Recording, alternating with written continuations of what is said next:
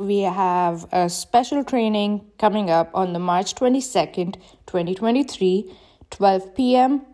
Europe time, so Berlin time. It's about navigating Twitter as a scientist. So, if you are a scientist who is curious about the world of Twitter and don't know how to get started, do sign up. Link is in the description.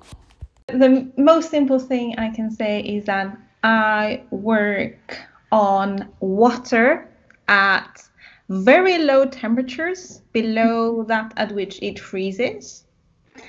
Okay. So I studied by using very strong X-rays mm-hmm. and also by firing lasers at it. And this helps us see its structure and how it changes with temperature.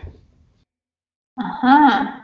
So so how it changes with temperature when you go down or when you go up, like when it starts melting from freezing? Or do you do uh, both ways? Like yes, we can do it both ways, although I have been focusing particularly on coming from the low temperature. But I don't usually go all the way to melting temperatures. I just stay in this very cold world because very interesting things happen here.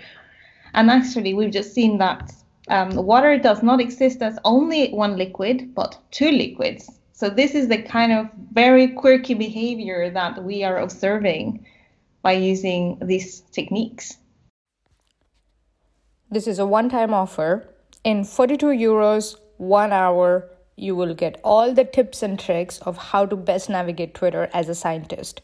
We will cover profile optimization, content crafting for science communication, how to grow your network, and also Twitter analytics. So, March 22nd, 2023, 12 p.m. Europe, lunchtime.